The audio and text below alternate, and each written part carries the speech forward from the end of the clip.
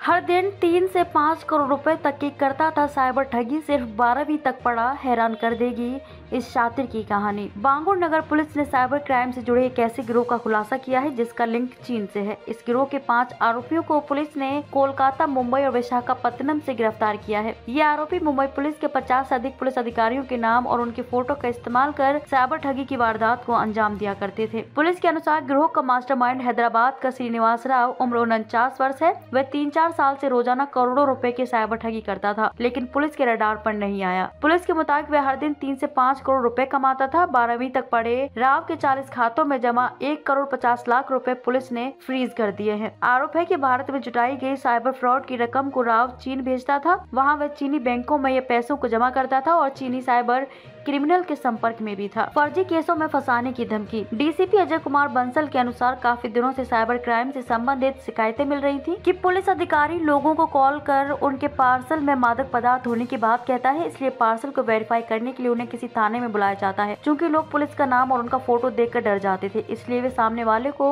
असली पुलिस समझ उनकी बात पर भरोसा कर उन्हें केस से बचने के लिए पैसे दे देते थे। आरोपी लोगों को फंसाने के लिए स्काइप और व्हाट्सएप कॉल का इस्तेमाल करते थे। पुलिस की छवि हो रही थी खराब डीसीपी बंसल के अनुसार इस मॉडल ऑपरेंडी के ज़रिए ठगी करने वाले इस गिरोह के खिलाफ पुणे, दिल्ली, बेंगलुरु, एनसीआर, मुंबई साइबर व पिंपरी चिंचवड़ आदि जगहों पर केस दर्ज हैं चूँकि इन सभी केसों में मुंबई पुलिस की छवि खराब हो रही थी। इसलिए इस सिंडिकेट को क्रैक करना ज़रूरी था ताकि लोग पुलिस पर भरोसा कर सकें।